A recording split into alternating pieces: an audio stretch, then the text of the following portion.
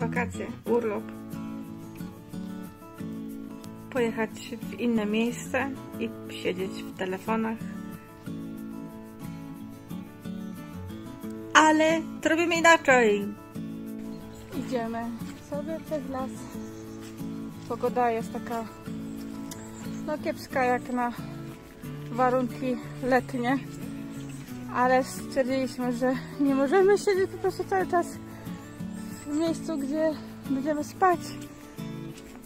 O, trzeba się ruszać.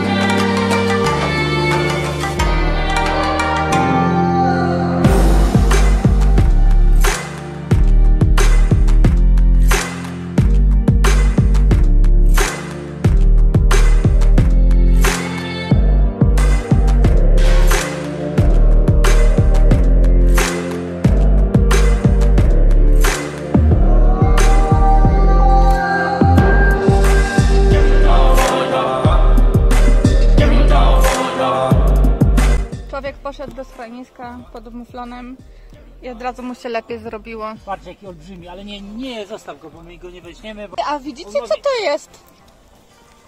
stromotnik bezstydny. Aby się wstydził.